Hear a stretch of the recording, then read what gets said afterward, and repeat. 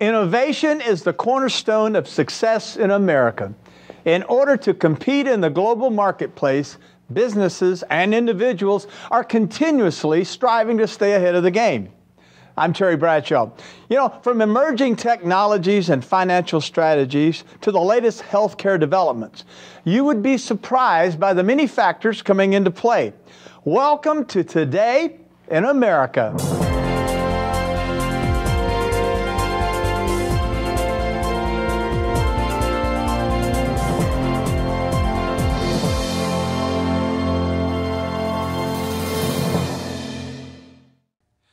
There's a lot of buzz about e-mobility these days. Improving almost daily, this technology has already made its position in our lives. E-mobility is on its way to becoming a major technology. It's also making a splash in the boating industry with the latest in e-mobility solutions from market leader German company Torqeedo.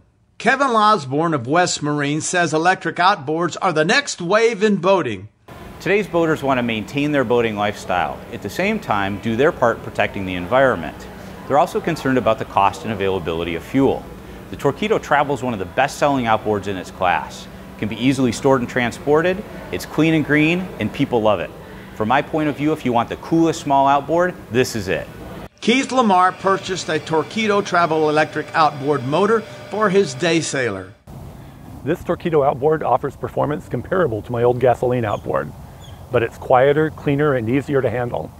What I like best about it is the fact that it's got a built-in GPS receiver. This gives me constant speed over ground and range remaining at my current speed. It's easy to disassemble and I can take the battery off to take it home at night and recharge it. Or I can charge it on 12 volt on the boat or with a solar panel. E-mobility is also making inroads in kayak fishing. Noted author and expert on kayak bass fishing, Chad Hoover uses the Torqeedo Ultralight. What I like most about the 403 Ultralight kayak motor is that just over 15 pounds is still a full one horsepower equivalent. With a range of over 15 miles when using conservative settings, it's the ultimate tool for getting kayak fishermen out there to catch them where others can't.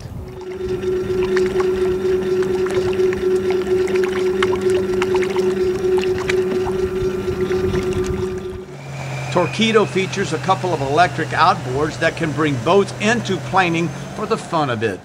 We were going just over 17 miles out there.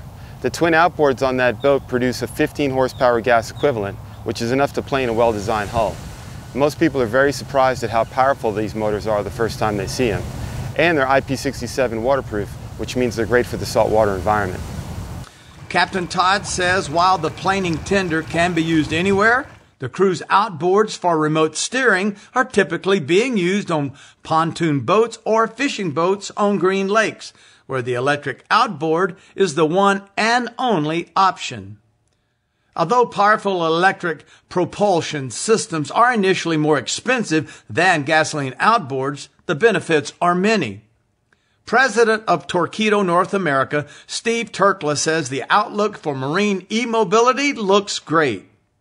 There are a lot of exciting developments taking place. In the near future, you will see stronger electric outboard motors that will be powerful enough to pull a water skier. Lithium battery technology will continue to get more affordable, and with the rising price of gas, I believe electric outboard motors will be more competitive to gas outboards, even in the higher horsepower class. Of course, it's also great for the environment.